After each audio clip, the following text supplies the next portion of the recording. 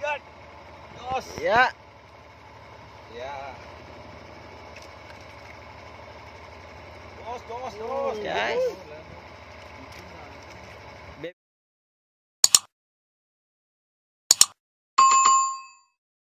Oke sobat mancing, eh, ini saya pegang tackle bukan mau berangkat mancing, tapi eh, saya baru datang dari mancing ya. Kemarin saya mancing, eh, jadi kali ini saya akan membagikan tips dasar cara mencuci rod dan reel ya sehabis mancing untuk eh, membersihkan sisa-sisa kotoran dan eh, sisa air laut yang menempel pada rod dan reel ini.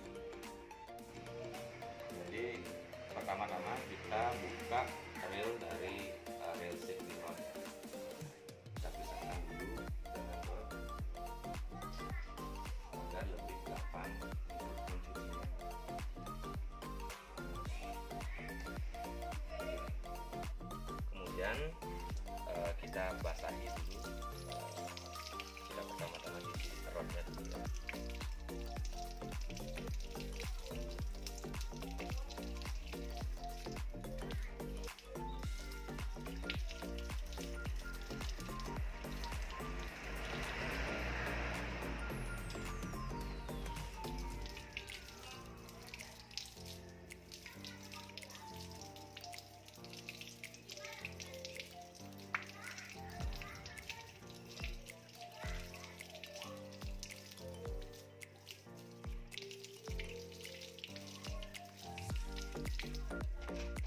kemudian di sini eh, saya memakai sabun ya. Jadi sabun yang bisa menghilangkan kotoran dan sisa-sisa air laut yang menempel pada rod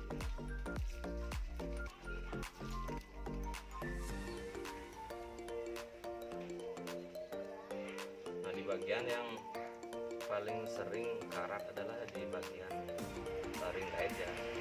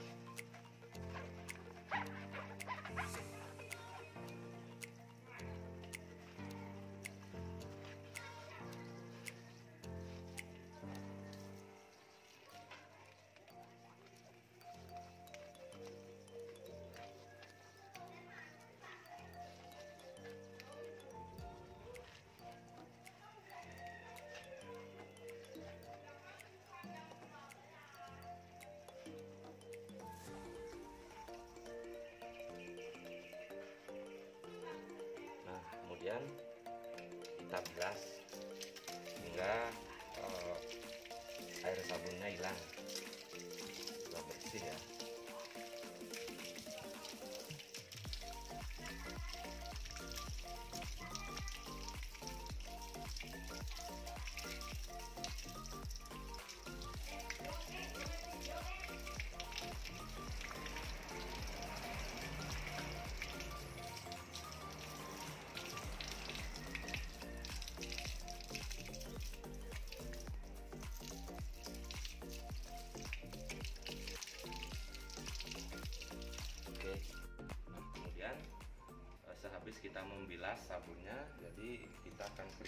Proses pengeringannya Eh, secara sederhana aja. Saya pakai eh, lap yang bisa eh, menghilangkan sisa air ya.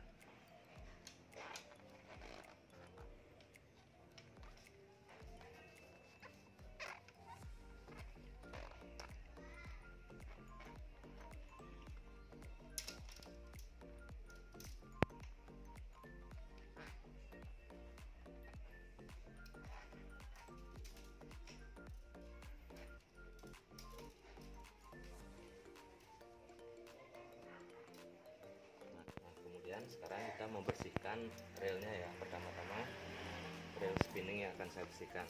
Nah perlu diperhatikan di sini eh, pertama-tama kita kencangkan dulu drag spoolnya seperti ini ya. Ini untuk meminimalisasi air yang masuk ke dalam spool ini nah, seperti ini.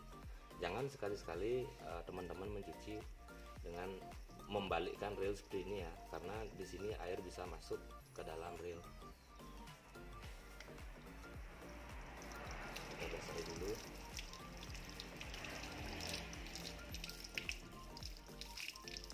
Nah kemudian di sini eh, saya pakai sabun untuk menghilangkan sisa kotoran dan sisa air laut yang menempel pada reel ini ya. Jadi pemakaian sabunnya juga usahakan seminim mungkin. Dan eh, membilas sisa sabunnya agar benar-benar bersih ya. Karena endapan air sabun yang menempel atau masuk ke dalam reel bisa juga akan eh, menjadi bibit-bibit korosi bibit-bibit karat di dalam reel ini. Nah, cukup. Kemudian kita bilas sehingga sisa-sisa sabun sisa-sisa busa juga hilang ya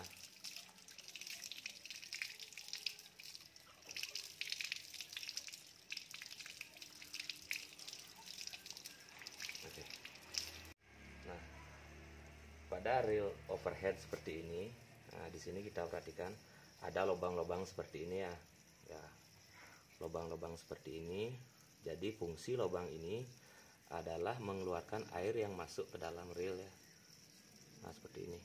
Jadi eh, saya akan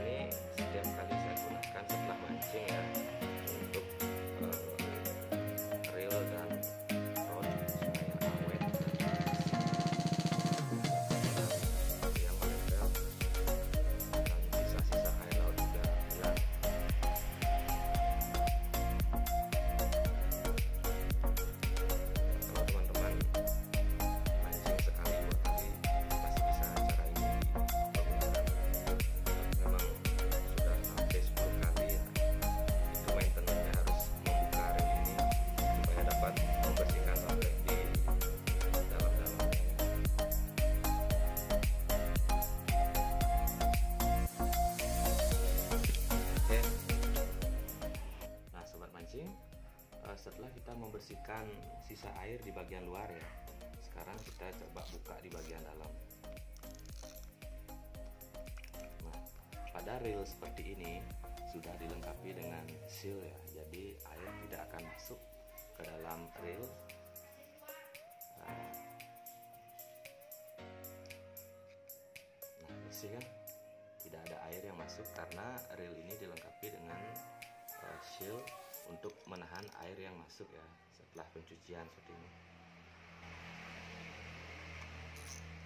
Nah, yang memungkinkan air masuk adalah di bagian knob handle seperti ini dan di line rulernya seperti ini ya di sini ya. Jadi kita akan uh, sedikit membersihkan di bagian dalam dan menambahkan pelumas ya. Oke. Nah, sobat mancing, di pada bagian uh, handle knob seperti ini. Nah, di sini pun tidak ada air ya, tidak ada air.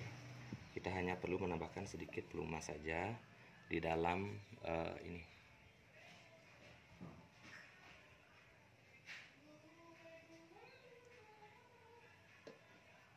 Kemudian kita tutup lagi.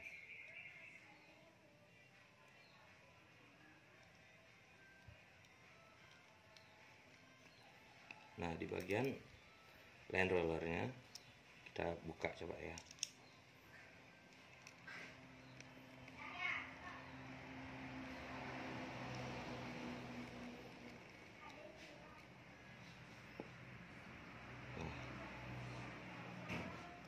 Sini pun tidak ada air sebenarnya, tapi saya ingin menambahkan sedikit pelumas di sini.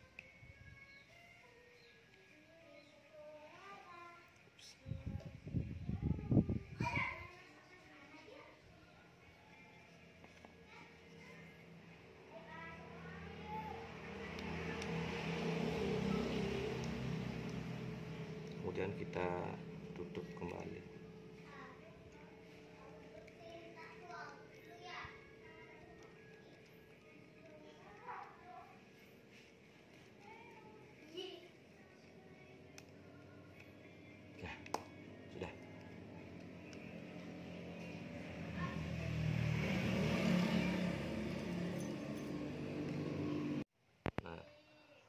eh, di reel overhead pun eh, hampir sama ya. Jadi di bagian handle knobnya saya isi pelumas.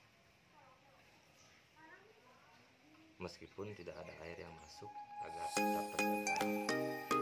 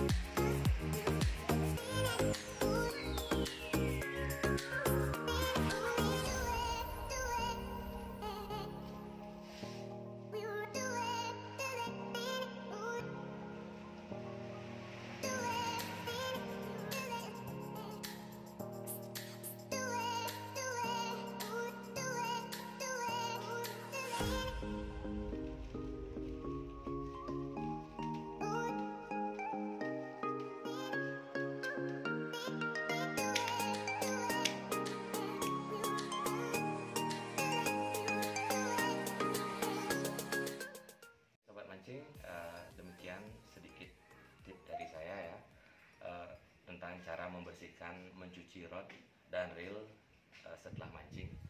Eh, sampai ketemu di video-video saya.